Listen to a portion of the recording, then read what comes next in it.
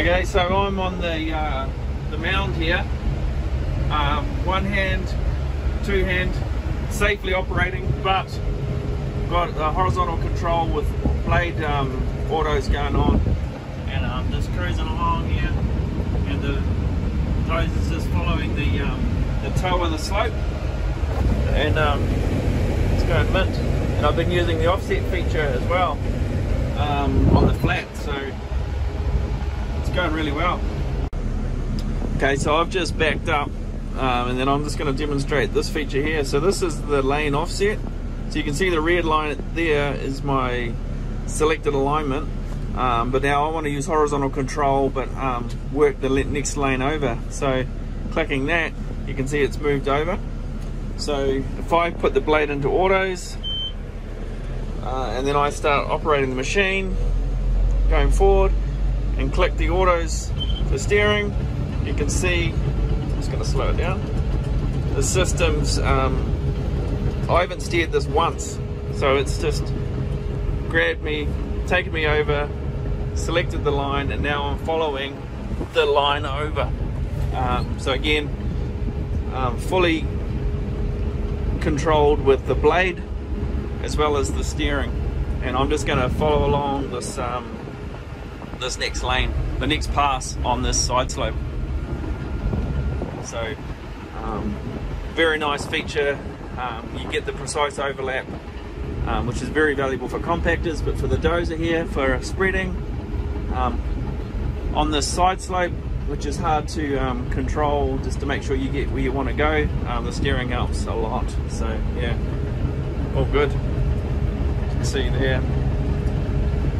So, yeah, definitely try it, guys. a lot of value.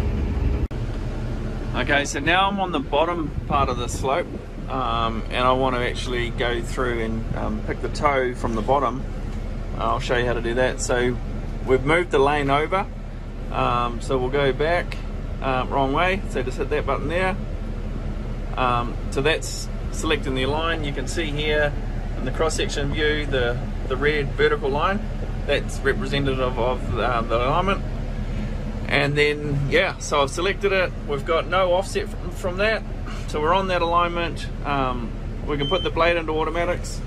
We can um, move forward and then I'll hit the uh, auto key for steering. It's going to move me onto it. Um, and now you can see here um, it's to just hold me on there I've angled the blade. I might angle a bit more just to shed the steer, uh, the dirt.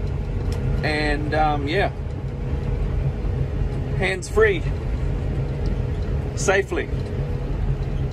So we're just to go through here. It's to pass right around the toe of this boom, um, precisely onto that alignment. Uh, very easy to use. Um, one less thing for you as an operator to have to worry about. Um, so you've got the machine taking care of blade, uh, grade, and then also it can keep you on um, your alignment. And then you can easily offset um, to keep using that feature. Okay, so I've decided to give you some bonus footage. So you can see here where I've come through the toe. Um, there's a bit of a windrow there that I want to get rid of. And um, what I'm going to do is I'm going to get the dozer to steer to um, the next lane over um, just to make it look nice um, and show you the, the, control. So here again, um, we're still set up for the toe um, of where the pad hits the slope. We'll just go and wrong way again. I need to learn. You can see I've moved it over. I'm going to have to change the focus point. So you can see now that the red dot there is close to it. So if I start moving forward, and then um, doing autos the system's going to automatically uh, move me over to the line. It's going to rotate the blade a little bit more that way.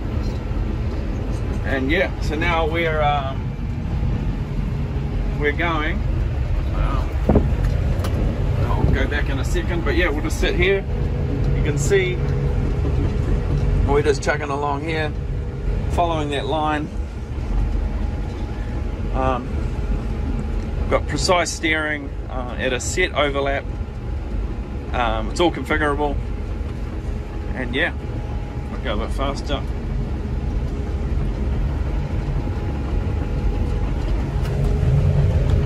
So we're just gonna cruise along here. Uh, yeah, easy to use, guys. Guys, check your check it out with your local SITECH. They'll uh, give you all the details that you need to know.